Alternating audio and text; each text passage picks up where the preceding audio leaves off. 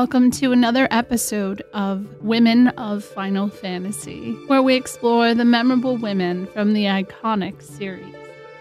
Today, we're diving into the world of tactical battles with Agrias from Final Fantasy Tactics, a character with a significant role in the world of Ivalice.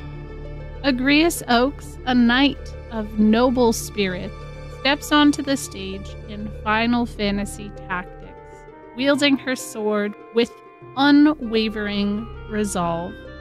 As a holy knight, Agrias serves Princess Ovelia and plays a pivotal role in the complex and rich tapestry of the Ivalice region. She exemplifies duty, honor, and loyalty a steadfast protector in a turbulent world where politics and power struggles shape the fate of nations.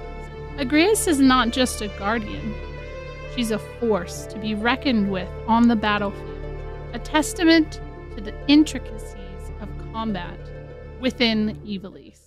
Her sword skills are legendary, capable of delivering devastating blows with her powerful holy sword techniques in the face of treachery and deceit, Agrias remains unyielding, striving for justice and righteousness in a world where morality is often blurred.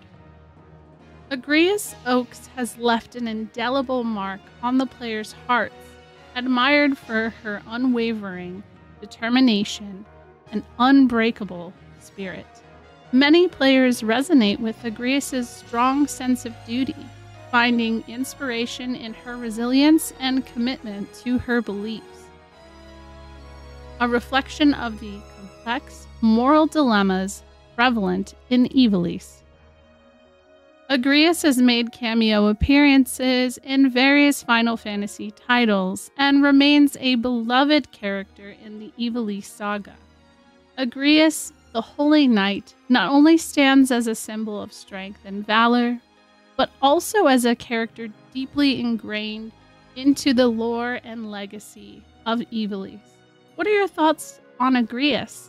Share your opinions in the comments below, and don't forget to like, subscribe, and hit that notification bell for more explorations of iconic Final Fantasy women.